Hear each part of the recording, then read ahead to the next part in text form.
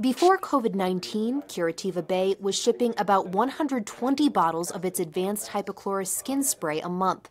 CEO Bill Mayer says that started to change in February. It increased to like 500, then it increased to 5,000, then it increased to 20,000. A huge jump for a product the company's website says is meant for skincare.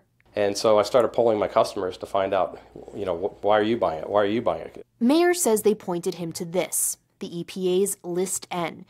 Products on it meet criteria for use against the coronavirus. The active ingredient in eight of them is also included in the spray hypochlorous acid. At the height of the demand, company officials say this small room in their Clearwater office would be filled with boxes just like this, ready to ship out as many as 5,000 units of the product a day. Yeah, we're selling to police, uh, police stations as far away as Detroit, hospitals as far away as Los Angeles. The company isn't making any claims about the skin spray's ability to kill the virus, but we spoke with a doctor who says hypochlorous acid is useful for cleaning. If you spray it on there and let it sit for a few minutes, I think the recommended number of minutes is about 10.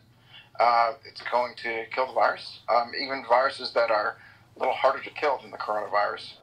In Clearwater, Sarah Blazonis, Spectrum Bay News 9.